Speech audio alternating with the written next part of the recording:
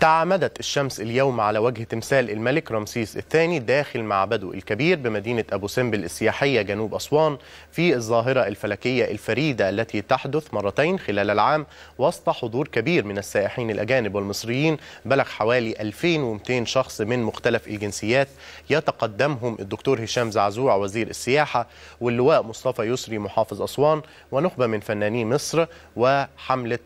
حملة تمرد المركزية ظاهرة تعامد الشمس على تمثال رمسيس الكائن بمعبد أبو سمبل بأقصى جنوب مصر كانت تحدث يومي الحادي والعشرين من أكتوبر والحادي والعشرين من فبراير من كل عام قبل العام 1964 إلا أنه بعد نقل معبد أبو سمبل لإنقاذه من الغرق تحت مياه بحيرة السد العالي أصبحت هذه الظاهرة تتكرر يومي الثاني والعشرين من أكتوبر والثاني والعشرين من فبراير وذلك لتغير خطوط العرض والطول بعد نقل المعبد 120 مترا غربا وبارتفاع 60 مترا.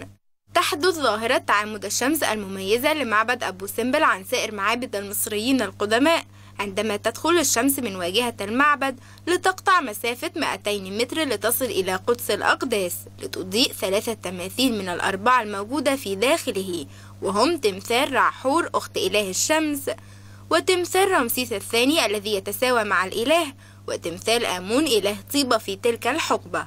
أما التمثال الرابع للإله بتاح رب منف وراعي الفن والفنانين وإله العالم السفلي فلا تصله أشعة الشمس. تعامد الشمس على معبد أبي سمبل مرتين في العام تستند إلى حقيقة علمية اكتشفها قدماء المصريين وهي أن شروق الشمس من نقطة الشرق تماما وغروبها من نقطة الغرب تماما في يوم الحادي والعشرين من مارس ثم تتغير نقطة الشروق بمقدار ربع درجة تقريبا كل يوم إلى ناحية الشمال حيث تصل في شروقها إلى نقطة تبعد بمقدار 23 درجة و27 دقيقة شمال الشرق في الثاني والعشرين من شهر يونيو. تعامد الشمس على وجه رمسيس الثاني مرتين في العام يومي الثاني والعشرين من أكتوبر والثاني والعشرين من فبراير يعود لاختيار قدماء المصريين نقطة في مسار شروق الشمس.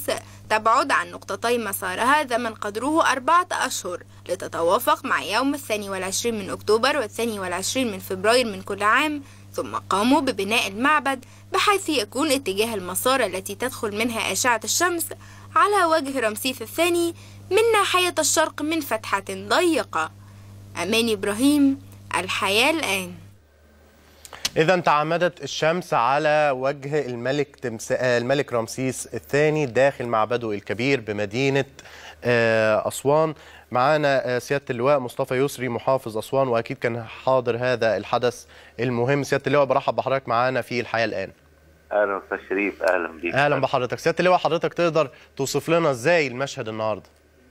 المشهد النهارده كان يعني أكثر من رائع ويا ريت يا أستاذ شريف كنت حضرتك موجود. يا ريت يا فندم. آه والله والله فعلا حدث اللي يعني اللي ما بيشوفش التعامد الشمس على وجه رمسيس الثاني يوم 22 أكتوبر أو 22 فبراير بيبقى فاته فاته حاجة كتير جدا حاجات كتيرة. يعني منظر فعلا يبين عظمة القدماء المصريين وعظمة المصريين نفسهم يعني عدد السياح والسياحه في أسوان سيادة اللواء حضرتك تقدر تقول لنا إيه عليه؟ يعني هو كان النهارده اللي كان حاضر تقريبا في حدود 300 تقريبا 300 أو 300 وشوية لكن في من أسوان وفي من من القاهرة يعني كان في الأستاذ أحمد بدير الفنان الكبير والأستاذة مي مي سليم كانت موجودة. يعني فعلا ناس جايين من مصر كتير جدا حضروا تمام تمام. وصلتني وصلتني الصورة. أنا بشكر بشكر حضرتك اللواء مصطفى يسري محافظ وان. شكرا على وجود حضرتك معنا في الحياة الآن. كما أشكركم أيضا مشاهدينا على متابعتكم لهذه الجولة الإخبارية من الحياة الآن. تحياتي وفريق البرنامج. إلى اللقاء.